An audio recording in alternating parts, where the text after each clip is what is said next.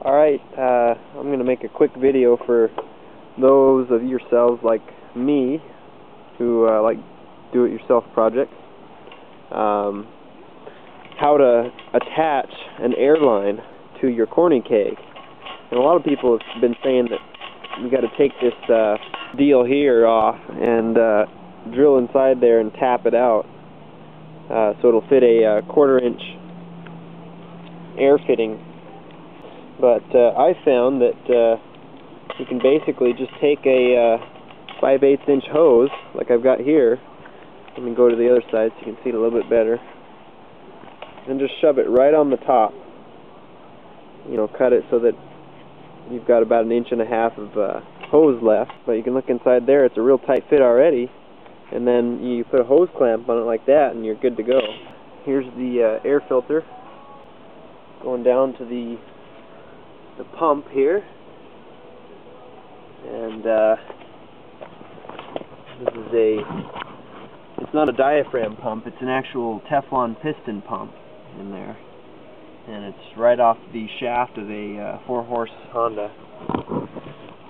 Here's the uh, relief valve. If the pressure gets too high it just off gases and here's the output airline. The fitting they use is the same as uh, your garden hose here so what I've done is I've got a, a brass uh, female garden hose end.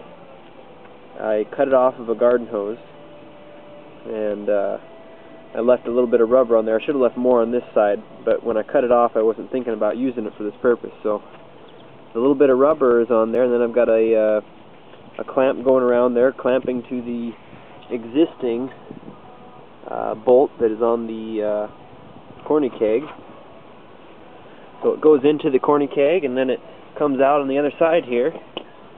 And here I actually left more rubber on there, so I've got a be better seal.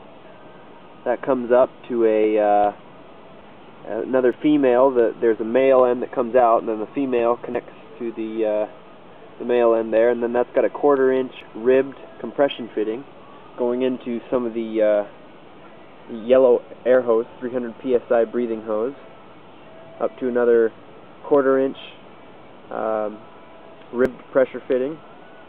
And then uh, that's threaded into this T here. And the T has got the quick connect for the uh, airline. So I've got 30 feet of air hose here.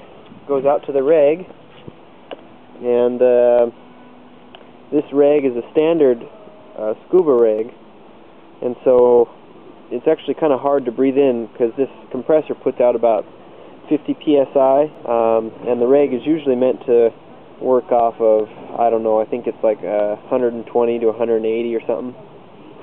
Anyways in order to get this to work off of 50 psi I had to open it up and inside here there's a spring. And uh, that spring has got a certain tension on it. And when I breathe in it compresses the diaphragm which pulls on this lever, which pulls on the spring, which opens the valve right in here to let the air in. So what I had to do to make it work with a lower pressure hookah system is I had to actually shave the uh, spring down, put the spring back in there, and it works great now. So I'm going to go ahead and start it up and give you a demonstration here.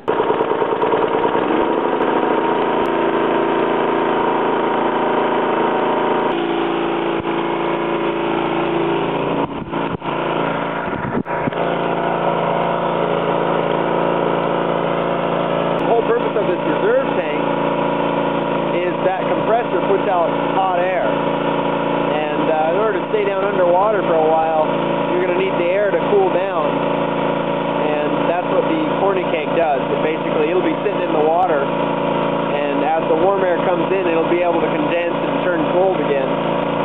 Uh, without this corny keg, I can be under there for about 15 minutes, and then I get cottonmouth. An interesting thing is this rag, when it's hooked up to a scuba tank at high pressure, you can push this purge valve here on the front and it'll push any kind of water out or whatever that's in the way. And uh, because it's low pressure I guess or because I shaved down the spring it will not do a purge but I can still breathe on it just fine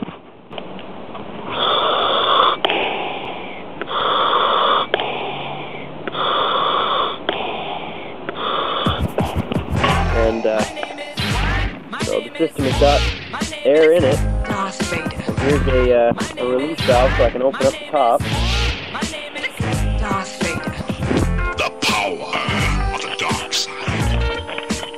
I have you now. Don't make me destroy you.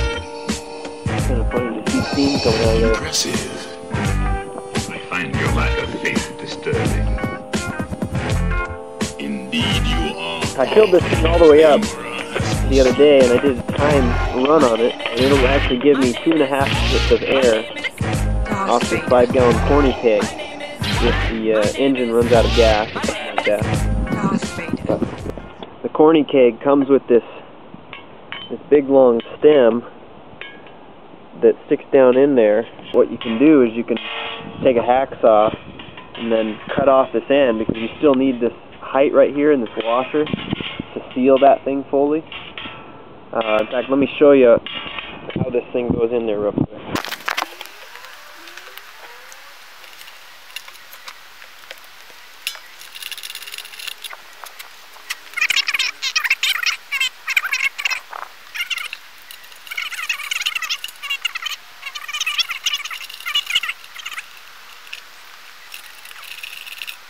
So this is the input side.